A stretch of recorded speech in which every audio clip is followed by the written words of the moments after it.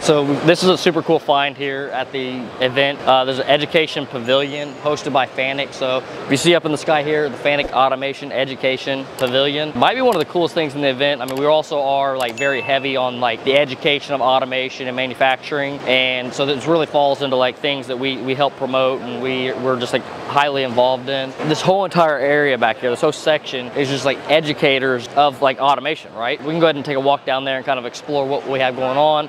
Uh, I haven't took a, a, deep dive into what's going on down here, but I do know there's a lot of FANUC robotics and a lot of people who are doing uh, any type of like FANUC type of training. However, it's not the only type of training a lot of these organizations offer. Some of them I noticed uh, from our last travel down here uh, that they're educators of uh, like colleges, right? So they're like full-time educators. And I'll try to, what do we have here? We have Ramtech, there's FANUC, FANUC certified education.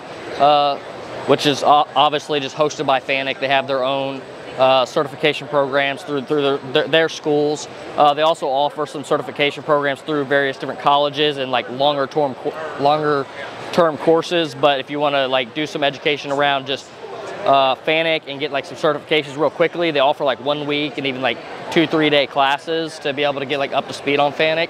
And then you have these other people like here's Gateway uh, Technical College.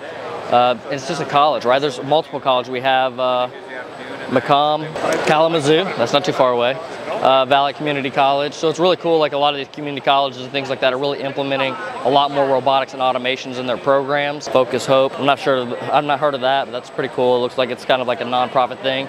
We have uh, Michigan Robotics, U University of Michigan, super cool. Miami University, Lake Superior State University, what is this one here?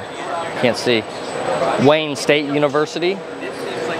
So you can probably actually just go on their website too and just find like the booths that are here and like you'll be able to see all these different uh, colleges that are here and all these different um, educators and people who are doing things within the education space for automation and robotics. Like I said, definitely a super cool uh, booth. Let me know what you guys think. Does any of you guys go to college at, at any of these places? We'd like to know.